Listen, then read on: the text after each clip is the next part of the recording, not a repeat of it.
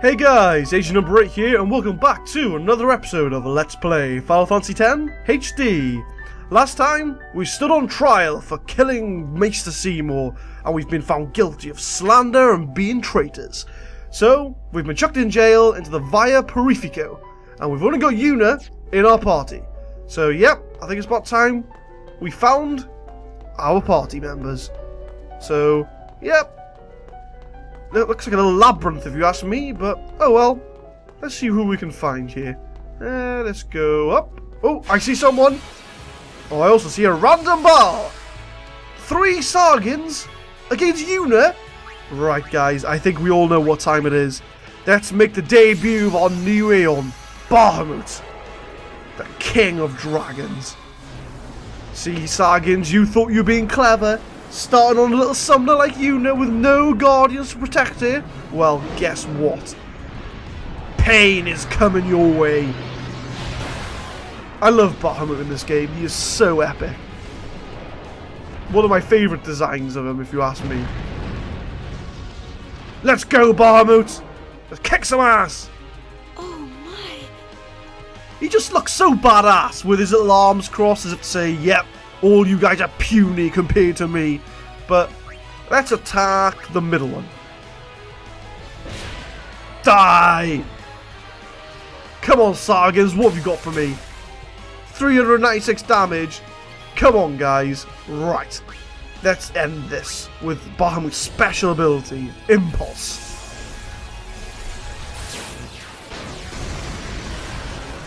Ooh, and an overkill to go with it. Check out Bahamut, King of Dragons. And we haven't even used his overdrive yet. Oh, when you see his overdrive, guys, he is going to be so badass. Yuna, sorry we left you alone. No. It's okay. It's alright, Kimahri. no worries, mate. I need a melee attacker anyway in my party, so, yep, we pick up Kimahri and a Mega Potion to go with him. So we've got two more people to find, Auron and Lulu, because for some reason they decided to throw all the swimmers into water.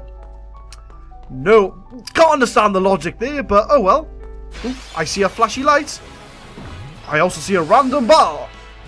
Okay, so Yuna, I want you to cast Null Tide on us, please. Because I think they only use water elemental attacks. Except for the Sargon sort of uh, physical attack. So they're all weak to lightning. So if I put on my Thunder Sphere, that will increase the damage. Oh, and of course, they only use physical attacks on us. Well, isn't that grand?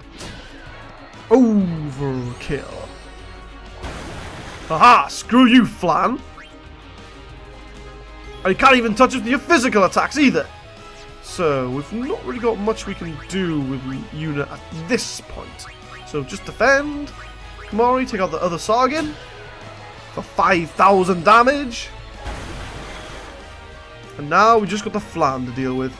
Kimahri, can you take out the Flan? Oh, no, it was Yuna's turn. Oh, well. Overkill. Well, it wasn't an overkill, but... The fact that he took out a Flan with his sphere, or spear, says it all. But ooh, who's that then? Oh, it's Auron. Hey, Auron. We've got three party There must members. be an exit somewhere. We search. Yes, you're right. There must be an exit somewhere, and it fancies to be just ahead of us, right there. But we don't want to go there yet. We still got Lulu to find, and we've got some secret treasures to get out of this place as well. So let's follow the path down here. If you look up there, there's a little gate blocking that pathway there. We'll come back to that in a minute. So, but first, we're going to find Lulu. And first, we're going to get rid of these random bars as well. I hate this place. Auron, of all places in Spira, this is the place he doesn't like. But uh, I think we need a bit of a cure on Yuna there. Or Cura. Perfect. And Kimahri, take out the Mafdet. Or the Swamp Mafdet. Or whatever the name of that fiend is. Okay, Auron, can you kill that Bate? No, you can't. Yuna, you defend. And again, Kimahri, can you kill the Bate? No. Okay, fine. We shall do this the hard way. Shooting star and send it into fucking orbit. Perfect. Overkill. That is how it's done. I'm stealing a quote from Auron there, but oh well. Oh, we gained some extra sphere levels as well. We'll put those on later. There's no rush to put them on right now. But yeah, there's nothing down that path there. So let's just carry on going. Straight down for now. Because now we pick up this treasure chest. Which is an elixir. That's awesome. Need to touch this destruction little sphere panel here. Because by touching that destruction panel, we get a random ball. These three sergeants. Okay, Yuna, I want you to cast Null Tide, just in case they do decide to use their Aqua attack on us. Kimahri, you can take out the middle one. Overkill. Ow, stop attacking Auron. Let's give Auron a heal. Ooh, he actually needs a big heal. He's running a bit low there. There we go. Now, is it worth me equipping... Oh, it is actually, because he gets another tip. Let's get my lightning strike on. Overkill. Hikamari. Overkill. You can tell the gulfing damage. Kimahri's doing 5,000 damage. Bearing in mind, he is using a lightning weapon and they are weak to lightning. But still. But yep, for using that thunder or that destruction panel, we get Lulu back. I. It's okay. I know. Don't worry, Uni. It's all good. But for also getting Lulu back, we get a white magic sphere, which, very similar to the black magic sphere, anyone on the grid can unlock any already activated white magic sphere, or white magic ability. So, now that we've got the crew back together, ooh, and we get a flan as well. Perfect. So, Yuna, come out. Get Lulu in there. So it's a water enemy, so we need to use Thundara on it. Oh, no overkill. We've nearly got the Thundaga and the other Gar abilities anyway, so... Uh, Kimahri, attack! Oh, come on now. Cave Iguions. Okay, Yuna. I think we need a Aeon to deal with this. Let's bring back the Serpent with Wings! It saved our life in the last couple of episodes. It's time to bring her back. Okay, get that cave Iguion. You can take him out, Valefor. Overkill. And get the other one as well. Nothing can beat this Aeon. This Valefor is our MVP of Aeons. I want to try and get Yuna as much AP as I can because obviously she's been out of the party for a while. So I want to try and get as much AP for her as I possibly can. Now, if I go up in the room here, you'll see a nice little teleport sphere there. But we don't want to use that yet. So we'll avoid that. We're going to go into the room up by here. Before we get into another random battle. Okay, unit defend. Kimahri, take out one of the sergeants. 9,500 damage on a critical hit. Kimahri is so beast, it is unreal. Lulu, can you take out that last flam for me, please? You'll soon be overpowered as well, Lulu, don't you worry. You will soon become overpowered. You just going to bide your time and wait. Now, one thing I want to do with Yuna very quickly is I want to move her on to a next part of the grid because Sheena can now use the same as Rikku. So one more can actually get steel for her as well. So, yep, Yuna can now use items in battle. Well, you know, the, the things you can steal and things. But uh, if we step on this other destruction panel here, this will do some funky things with a little teleporter here. Oh, what's it doing? It can fly! Now, remember that locked room I mentioned before? That little uh, gate blocking the way there? Well, now we can get to it. So we get this treasure chest first, and get another black magic sphere. Those are going to be very handy soon. So now, if we just go straight on, we're back in the same room that Auron was just now. So now all we need to do is to get our secret treasures. And there are some pretty good secret treasures to get. Okay, Kimahri, I think you'll need to use a Ronso Rage here because you're not going to be able to hit them otherwise. So if you use Seed Cannon on one of the bad days. Overkill. Okay. Oh, we get combat. Uh, Lulu, I want you to defend for now. I want Auron to defend for now. I want Yuna to come in so we can get some AP for him. Auron, attack! Yeah! See, that's how you manage the party. Get them all to get AP, and they'll all become overpowered. So, let's carry on going left here to get our secret treasures.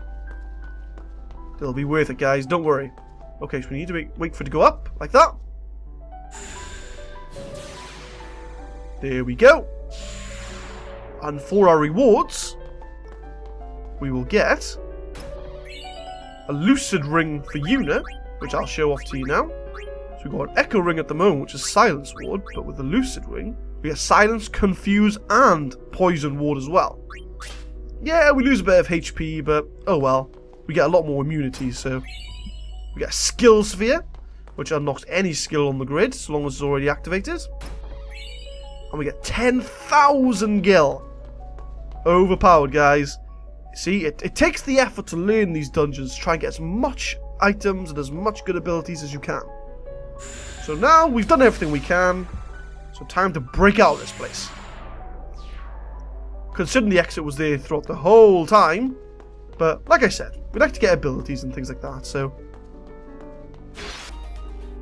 Okay, so now that we're done with that battle,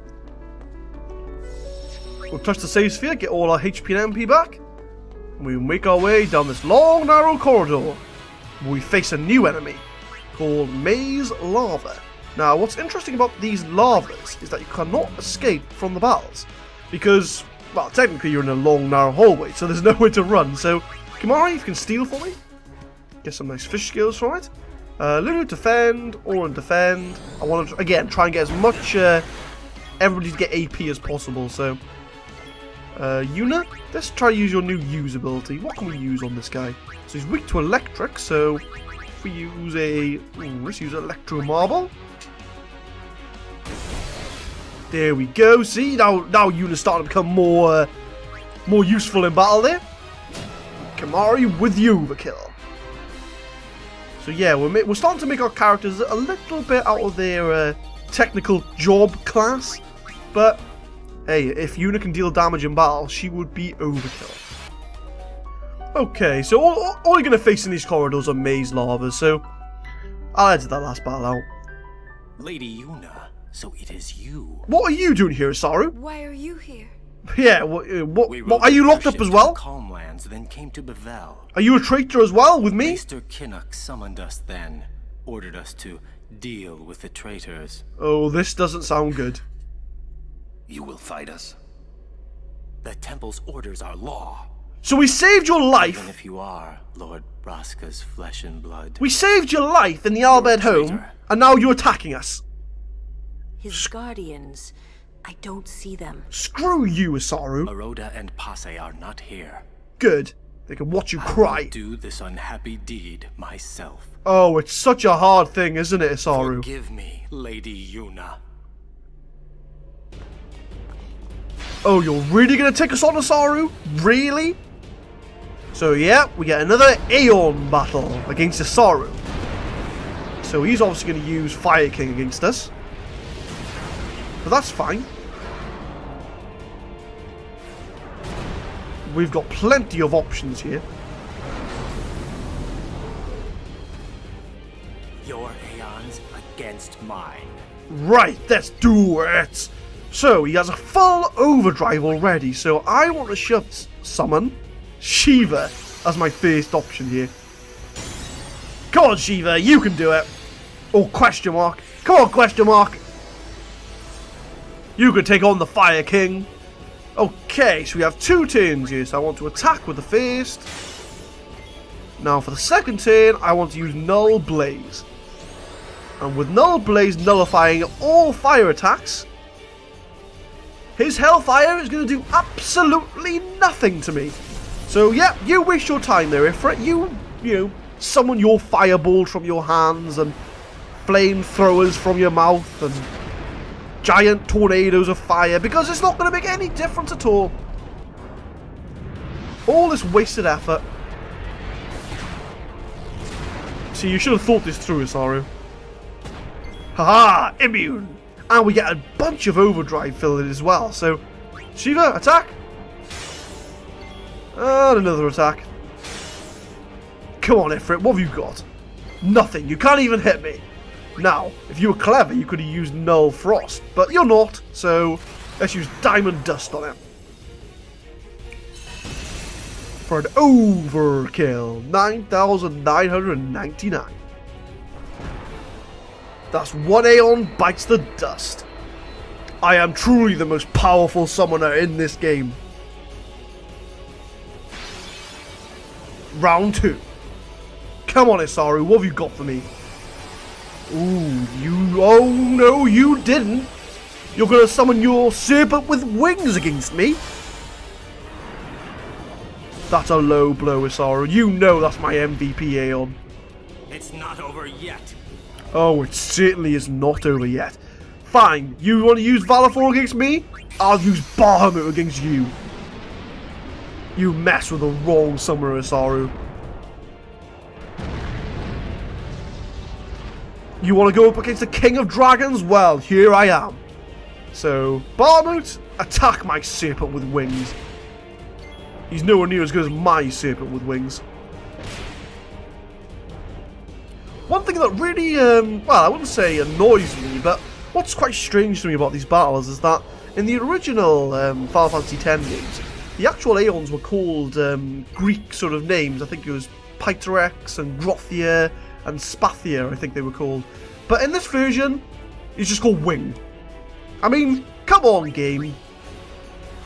At least give them decent names. Ah, you can't touch me, Valefor. Right, so we've got an overdrive with Bahamut here. I'm not going to use it yet. I'm going to try and see if I can get Valefor sort of, at least in low HP before I use it. Just to make sure I do overkill him. Oh, he's got an overdrive. Oh, and he's quite tired, so, okay, Bahamut, that's Mega Flare. This is the power of Bahamut, guys. Watch this damage. Bear in mind the damage we've been doing up until this point, right? Go, Bahamut. Destroy him. Slash her. Because technically Valefor is a her, or is a she.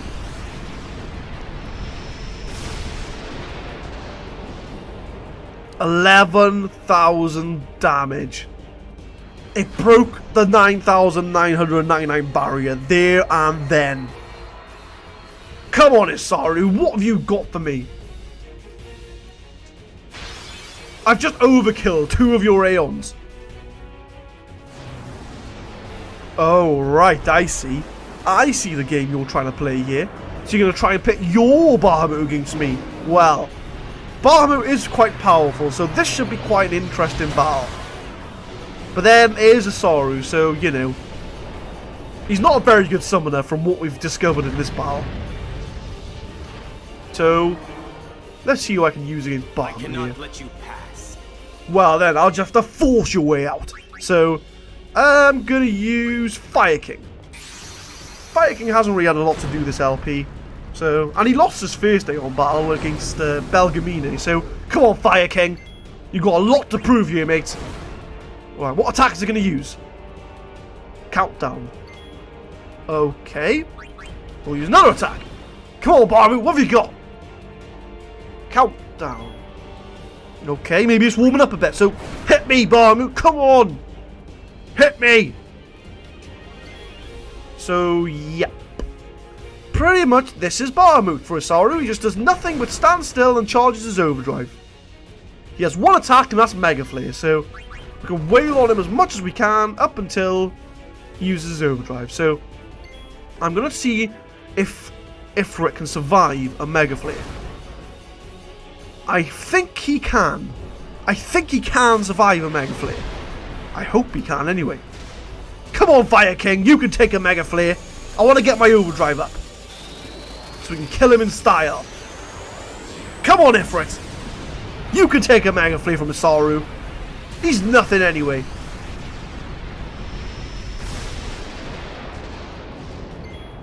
Oh! 16 health! Good on you, Fire King. I knew you could take a, a Mega Flare. Fire King is proving his worth now. So he's just going to do another countdown again. So let's take this opportunity to heal up. Right, I have my overdrive, so that's all I'm concerned with now. So now we just got to pretty much attack Bahamut until it shows that he's tired. He'll sort of lean on one knee, I think, when he's tired. So let's just keep on attacking him. Right, okay, so now he's leaning on one knee. I'm going to do a few more attacks, because I just want to make sure I do overkill him. So now he's going to use Mega Flare, so now we don't need to uh, take the damage or use Shield. So his Mega Flare will do hardly anything to us now.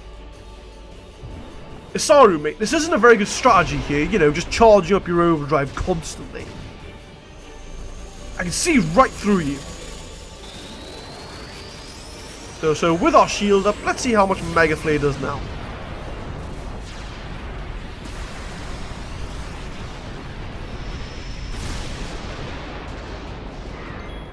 Five hundred damage.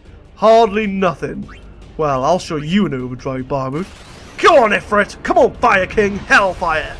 Let's show this guy what an overdrive really is. Overkill. Die, Bahamut. Sorry, your eels are crap compared to mine. My Bahamut can destroy worlds, and yours can't even destroy my Fire King. You need a bit more lessons, mate. You need to train more. Good on you, Ifrit.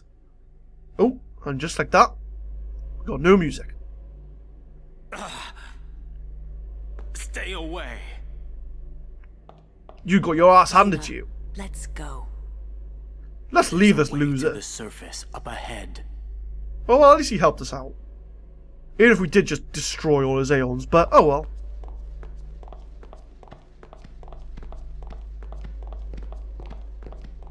Your pilgrimage is over.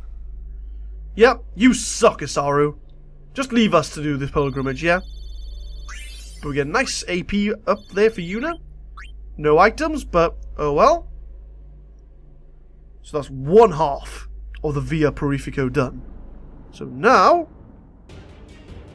Now we've got the second half of the Via Purifico with Tidus, Wakka, and Rikku. Which we'll start next time on Let's Play Final Fantasy X HD. This has been Agent Number 8. Thank you very much for watching this episode, guys, and as I say, next time, we take on the second half of the trial in the Via Purifico here, with Tidus, Wakka, and Rikku. So, hopefully, catch you in the next one. Have a good one. Laters.